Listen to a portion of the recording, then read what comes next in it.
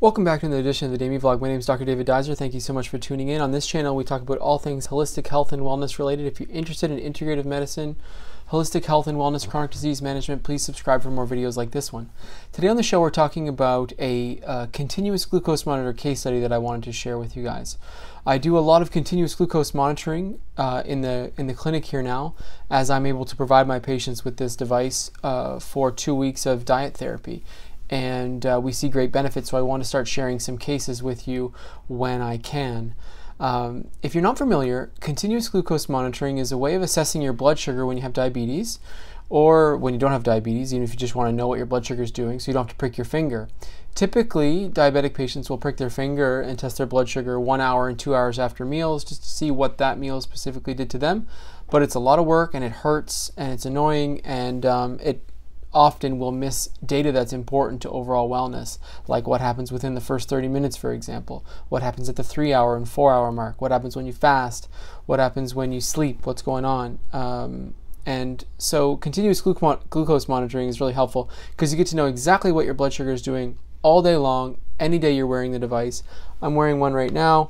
It's a little sticker with a little needle in it that you can't really see. It's kind of that little bump there. It's in my arm you just take your iPhone and you just go like this and it tells you your blood sugar. It's delayed by 15 minutes versus the blood level. So if you prick, prick your finger, this uh, uh, monitor would show that exact number 15 minutes later.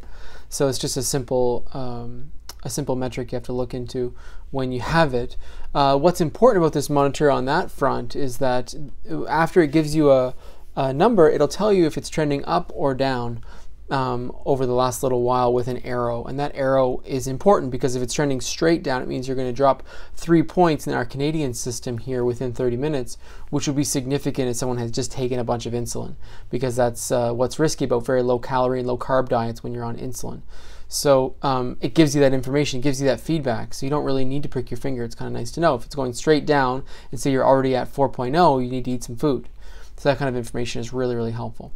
Um, also, on my side of things, it's really helpful to know if the arrow is pointing up on a diagonal or up straight. If it's up on a diagonal, you're going to get one to two points within 20 minutes or so. If it's up straight, it's going to go up three points um, within 30 minutes. And uh, we just that that point we have to if we're not done the meal already, we need to stop the meal. So it's kind of interesting to see that kind of real time feedback um, for someone, uh, diabetics especially. And uh, today we're talking about a, a, very simple case study that really I wanted to, to talk about because it highlights the value of mindful eating. And on the diabetic side, on the weight loss side specifically, it's being mindful of glycemic index or mindful of the impact of carbohydrates on your body, on your insulin levels, and on weight gain and therefore uh, the ability to lose weight. So, this case study is a really simple one. We've got a 70 year old male, I've changed some of, some of his information to protect his privacy. A 70 year old male uh, named John. John uh, has type 2 diabetes and uh, needs to use insulin. And that's because his pancreas doesn't make enough insulin any longer to manage his blood sugar. So he has to use insulin uh, to help manage his blood his blood sugar control, and has never tried a continuous glucose monitor. He's just been pricking his finger six times a day. And um, we have weight to lose with John. So, you know, we're at 305 pounds, and he has a history of a very difficult time losing weight. So, what we want to do is we want to just track blood sugar over two weeks, kind of with uh, the diet plan that we're trying to have him follow.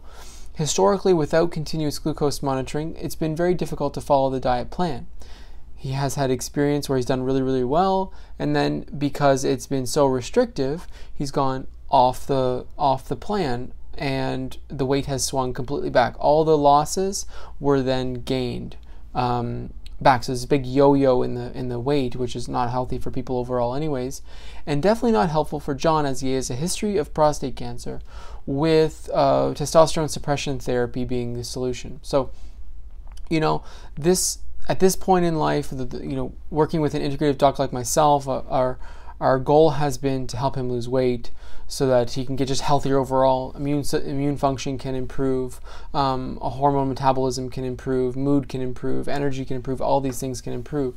uh, by getting that weight down. The weight's just too high. So, what we're trying to do here is help the diabetes medications work better, reduce the need for insulin, and help with weight loss. So we did a two-week trial of a continuous uh, blood sugar to continuous glucose monitor, and here's what happened. Without commenting on the use of insulin, because his, his use didn't change that much, he lost seven pounds. Without talking about exactly what he ate, he lost seven pounds.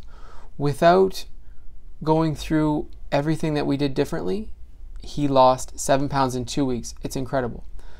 Here are the details that you need to know over these two weeks, John didn't significantly cut his carbohydrates in a way that you would think, or even calories for that matter, in a way that you would think would be conducive to losing seven pounds. Yes, he's at 305, so to lose seven pounds doesn't seem like that much. But when you've been yo yoing and it's been so difficult to lose weight and keep it off, these two weeks were very important. They're very important because he didn't change his diet very much. All he did was look at how the foods he was consuming impacted his blood sugar and then made subtle adjustments by choosing things that were lower glycemic, by choosing lesser portions of high glycemic foods, by uh, if he had a high blood sugar spike, he would then not have a high carb meal later in the day. So we would make these reactive decisions based on how the day was going so far. If he emotionally ate for a while, he then fast for 13 hours if he had a had a had a treat meal one week, the next week he didn't have one. So basically, we have our rules in place that we use with diabetics, um, specifically insulin uh, insulin using diabetics, um, because they're it's a it's a bit of a, a, more difficult therapy than when you're not using insulin because there's a little more things you have to be careful of, a few more things you have to be careful of, like for example prolonged fasting and very very low calorie diets. Those are um, contraindicated and, and need to be medically supervised, but in his case, um, we were able to, to very subtly make changes reactively, day to day, and keep his quality of life normal and his meal times normal and his meal choices relatively normal for what he was doing prior. And he was able to lose seven pounds. And I think this is a huge feat because my question to him when he came back in and we saw these results was could you do this forever? Really? Could you eat like the way you ate the last two weeks? Could you do that forever and be happy? And the answer was yes. And I love that question because I always get an I always get an honest response, which is what I'm looking for. Um, I very often will get a, a, no, no, I can't do that. It was too restrictive. It's too difficult. And then we try to make changes to make it easier. In this case, the answer was yes. Looking at his, his, his glycemic control, his blood sugar control over the two weeks, the average glucose was lower than his previous A1C. A1C is a marker of three months average glucose. Over those last two weeks, his level was lower than three months prior. Therefore, we think this next A1C is going to come back lower. So we think his overall blood sugar control over three months is going to be less. Meanwhile, he's going to lose weight. His quality of life was not significantly impacted. His insulin usage will go down over time. Uh, I'm just really excited about this case because what I'm always trying to do is make things very, very simple for people. And I find that continuous glucose monitoring does that. It's like when you wear a Fitbit. You know people who wear Fitbits and they're obsessed with getting 10,000 steps. And they'll do it. Like they'll leave their house at 10 p.m. and go walk just to get that 10,000 steps. When you're wearing a continuous glucose monitor, it is that motivating. If you have, for example, a breakfast that you think may spike your blood sugar, you look at it and it did, the next morning you, you don't eat that breakfast. You just don't do it because you know you're going to have the negative impact that it that it that it that it had on you. You're going to have exactly the same negative impact. Um, so also the, the things that happen, like you might decide to make subtle changes to the meal and, and see if it's any better. It becomes an exciting kind of game to challenge yourself with to eventually get healthier overall. We know there's a big difference between having an A1C of 7 or 8 to an A1C of 6.0 in terms of long term health outcomes. We know that um, getting off of insulin is better than being on insulin. We know that uh, being a leaner body weight is better than being in the overweight or obese category now in terms of BMI. So we have all these things we can try to shoot for, and we can have real time feedback uh, for your specific diet with this device. So I'm excited about it. And these type of case studies are not um, rare. These things happen all the time. I have another one that just came in today that I'd love to share uh, with you in the next little while about um, significant A1C drop. So, you know, we're looking at when um, someone has an A1C of say 6.8, 7.2, when they wear this machine for two weeks, their average glucose is definitely lower than that if they're also trying to get healthier overall, which most people who will wear it are. Um, and if they aren't over after the few days of wearing it, they'll get motivated because it's quite inspiring, similar to that Fitbit idea. So this is a case study I want to share with you: seven pounds weight loss in two weeks using a diet that this person thinks they could do forever. So that's really exciting for me, and I I, I love it. So thank you so much for watching. If you like videos like this one, please subscribe uh, for more uh, of these. I'm going to do as many as I possibly can per week. Thanks for tuning in. My name is Dr. David Duizer, and I'm a naturopathic doctor in Vancouver, British Columbia. Okay, talk soon. Thanks.